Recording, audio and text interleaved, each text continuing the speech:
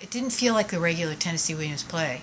It the dark oh. side of it was cut by this other weird thing that I didn't know what it was, but some kind of a some kind of a farcical thing.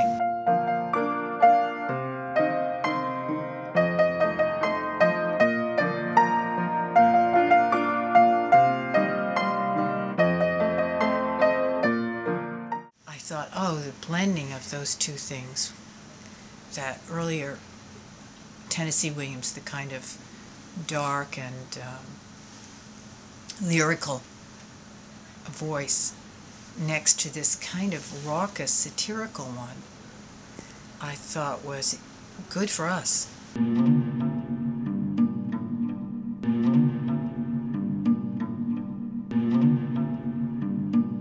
and took the video monitors and pushed one back, pulled one forward, and made them into uh, three kind of palettes. I think of them sort of like in this piece. I think of them like artists' uh, uh, easels. They're on easels. Get upstairs, boy. We're gonna talk in the morning about your future plans. I have no fu- plans for the future, Mrs. Wire. That's the situation. You better call Red right quick.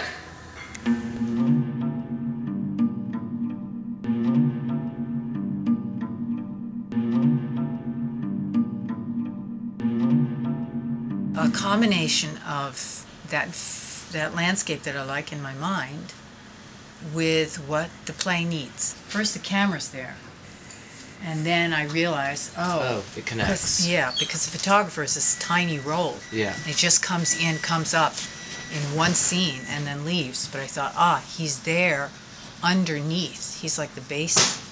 In the play, he's he's a literal. He literally lives under the place where the play takes place.